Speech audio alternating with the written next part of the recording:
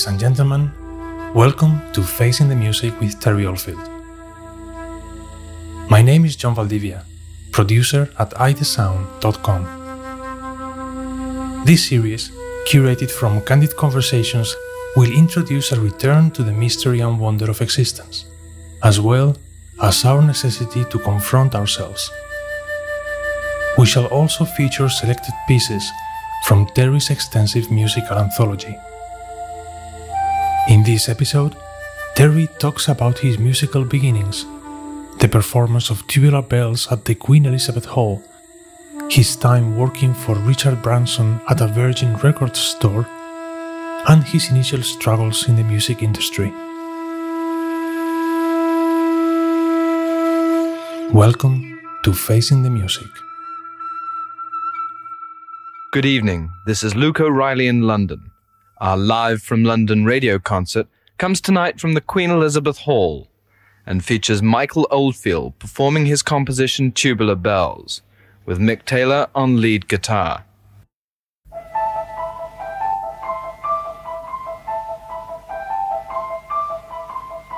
We were all a bit um, out of our depths, really. Obviously, there was Mick Taylor, who's a Rolling Stone, on the you know with us, and some famous musicians. But it was weird. It was just like, you know, it felt normal. I can't describe it any other way. You know, I remember walking into the Queen Elizabeth Hall foyer and seeing all the signs and sit down and have a cup of cup of tea or something in the cafe there. There was no real sense of we were arriving by the stage door, you know, special. There was nothing special about it. It was just, it was very normal because there was no big deal about it in those days. It was just another another thing that was happening. I didn't see Mike as a as a star or. And we had um, people wandering in and out of the shop who were who were you know band members and people who were you know they'd stop and have a cup of coffee in the staff room with us and all sorts of people wandering in and out. It was just like normal. There was no distance between the stage and the audience in those days. You didn't have that.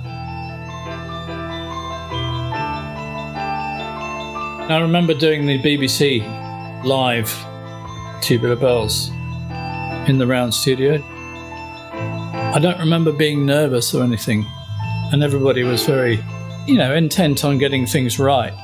There were cameras everywhere, but I didn't feel nervous. I just felt part of the gang kind of thing, you know.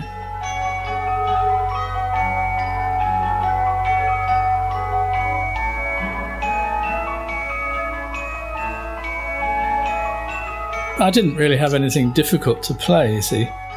All these other guys had all these notes, but it was nice to be included in the whole thing.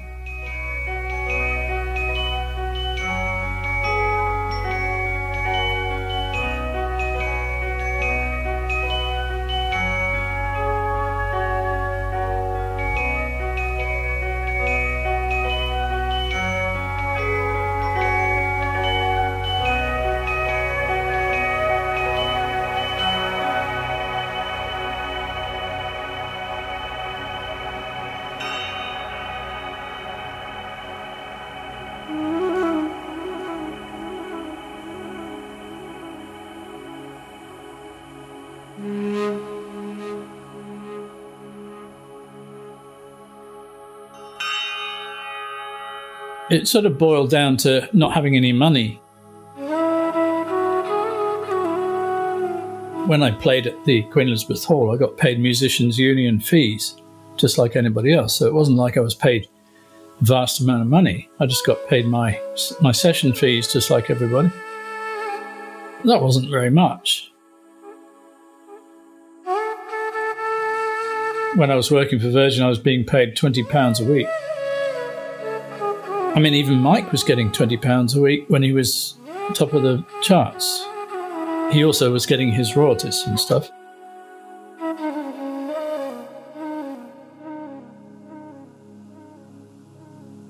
You know, it was just this thing Richard had about everybody has to be paid the same.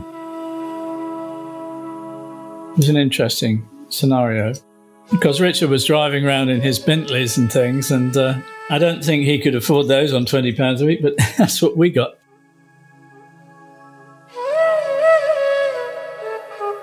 Looking back, I see that as an unfolding inevitability. You know the expression, it's all in the can, and then it just needs to unfold. It's like the path is, is laid out, you're asked to walk it. If you think you know the way better than the path itself, you run into trouble.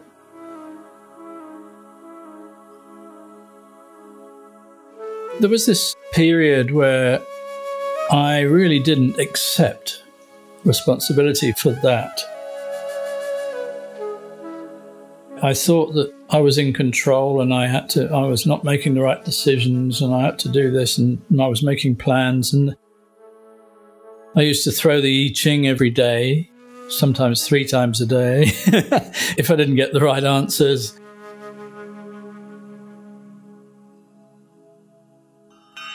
That's the sort of common state of humanity where you really feel like, I know what's supposed to happen, and I Ching's not agreeing with me, for God's sake, you know.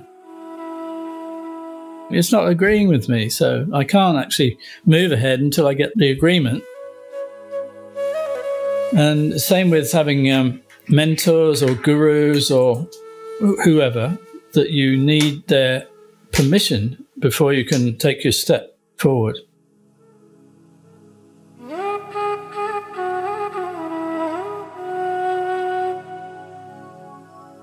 So I was lost in that quagmire at the time. Although I had some sort of clarity on a deeper level, I was still in the ebb and flow of reactivity.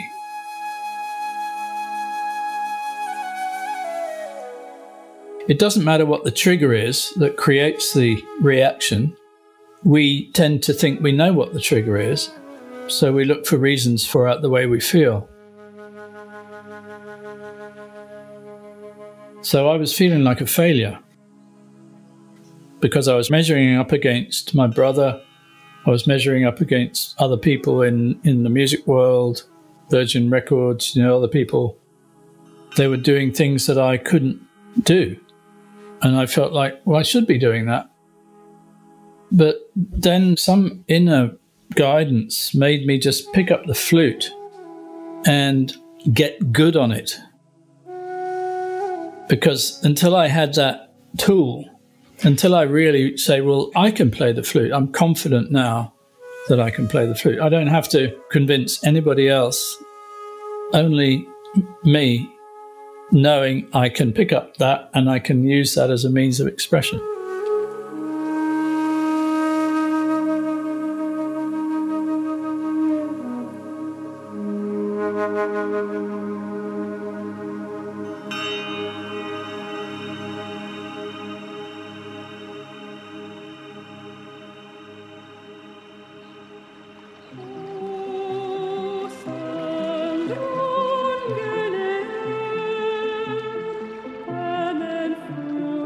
It started with when I started doing film work because I could put the headphones on in the studio, go out there and look at the screen and put a top line in that worked. It was almost first time every time. That gave me the confidence. All I was doing was responding to the stimulus of the, of the images and also taking into account what the producers wanted and all that. But I remember working in the studio in London with Lawrence Moore on this program. Lawrence Moore was the co producer of the film Reflections with Keith Critchlow. It's very nice, and, and Mike wrote a very nice score for it. It's very um, deep, the concept behind it. Watching that film actually was quite a um, a momentous thing for me because I, I started to see the world as a reflection. And through my relationship with Keith Critchlow, who came up with the film, it sort of deepened my connection with reality in the sense of knowing that it isn't real everything happens here, and everything out there is a reflection of that.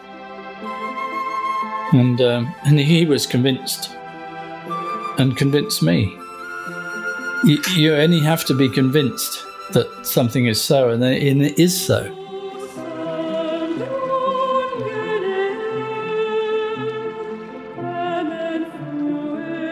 Thank you for listening to Facing the Music. We want to extend our gratitude for your company today. For enriching context and further insight into our series, do visit ithesound.com slash Terry. We have provided all the pertinent information in the description. For those interested in delving deeper into Terry's compelling journey, his biography, Only Now, is readily available on all major online bookstores. It is an intimate and insightful account of a life dedicated to music and spiritual awakening. Lastly, please visit terryoldfield.com to stay up to date with Terry's latest endeavors. Once again, thank you for your time. This is Jon Valdivia from ithesound.com.